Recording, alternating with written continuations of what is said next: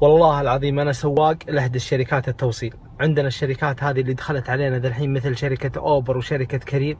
أقسم بالله إنها ساعدت البنات على الضياع.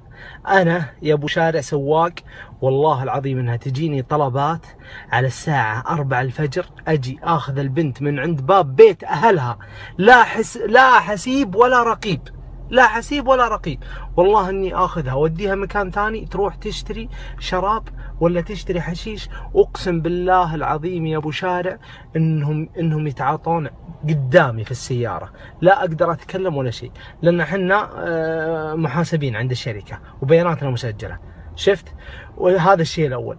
الشيء الثاني والله العظيم يا في لا أقدر أتكلم ولا شيء لأن إحنا آه، محاسبين عند الشركة وبياناتنا مسجلة. شفت؟ وهذا الشيء الأول. الشيء الثاني والله العظيم في مواقف تشيب الراس صراحة أنا شفتها وإلى الآن ما راح ماني مصدق نفسي. يعني من ناحية تعامل آه، البنات مع أولياء أمورهم أو تعامل آه، الزوجه مع زوجها واحدة تكلم زوجها وهي راكبة ورا والله العظيم يا أبو شارع إنها تكلمه وهي يعني في وضع مخل وضع شربانة. تكلمه وتقول لا أحد يدري. وإذا أمي كلمتك قل لها إني في البيت. يعني زوجها هو اللي يتستر عليها. الله لا يبلانا الله لا يبلانا. هذا الشيء الأول. الشيء الثاني أنا رسالة ودي أوجهها لأولياء الأمور. تكفون تكفون تكفون تكفون. والله أنها من القلب. تكفون تكفون. انتبهوا لبناتكم. انتبهوا. حاسبوا تكفون انتبهوا لبناتكم. انتبهوا. حاسبوهم. الشركات صح في ناس يوصلون في بنات محتشمات يركبون وفي ناس فيهم خير.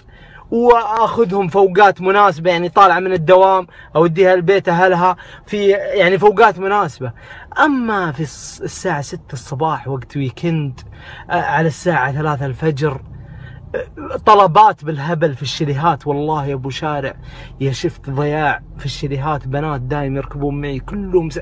يعني أغلب الطلبات اللي تجيني آخر الليل ولا الصباح كلهم سكرانات.